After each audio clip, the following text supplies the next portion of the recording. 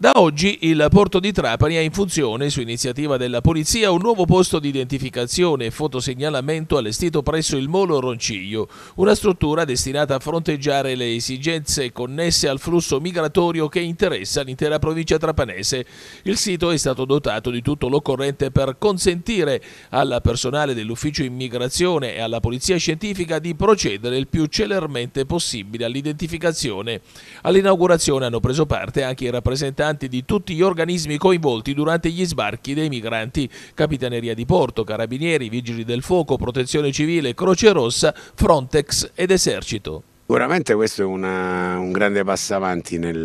nel, lavoro che noi facciamo diciamo, di identificazione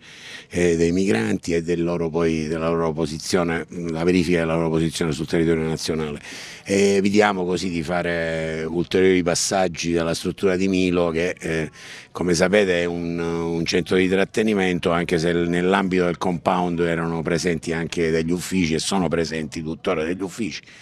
E questa struttura qui leggera sul molo Ronciglio ci mette nelle condizioni di poter gestire più facilmente gli sbarchi e, ed avere immediatamente dei riscontri sulla posizione dei migranti sul territorio nazionale, quindi da qui ci saranno poi degli spostamenti che verranno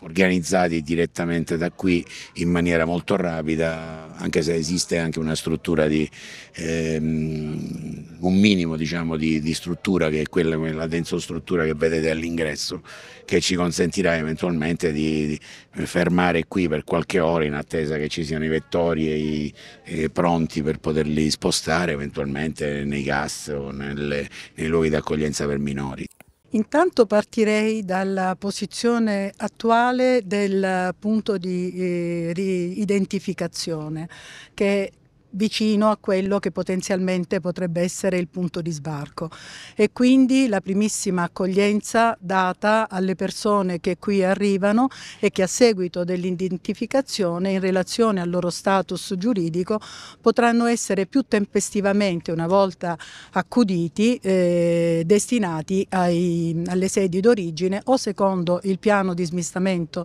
del Ministero dell'Interno oppure nelle strutture diversamente indicate. Eh, per quanto riguarda il CPR, come sapete, è temporaneamente chiuso eh, a seguito degli ultimi episodi che son, si, sono, eh, si, sono, verificati con gli incendi determinati da, dagli ospiti. I lavori sono in corso, quindi il CPR al termine dei lavori e della sua rifunzionalizzazione riprenderà il suo eh, lavoro.